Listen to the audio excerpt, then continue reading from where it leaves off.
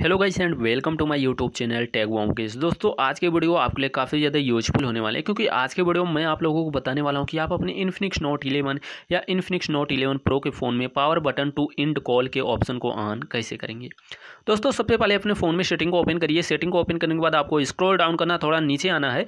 यहाँ पर एसेसबिलिटी का ऑप्शन दिखाई देगा। सिंपली आप लोगों को इस ऑप्शन पर क्लिक कर देना है। गाइज़ जैसे आप लोग एसेसबिलिटी के ऑप्शन पर क्लिक कर देते हैं तो यहाँ पे कुछ ऐसा इंटरफेस आप लोगों को देखने को मिल जाता है। अब यहाँ पे आपको स्क्रॉल डाउन करना है, थोड़ा नीचे आ जाना है आप लोगों को। जैसे ही आप लोग थोड़ा नीचे आइएगा यहाँ पे आप लोगों को पावर बटन इंड कॉल का ऑप्शन दिखाई देगा। जैसा कि आप लोग हमारे फ़ोन में देख सकते हैं, अभी के लिए फ़िलहाल हमारे फ़ोन में ये ऑप्शन ऑफ़ है।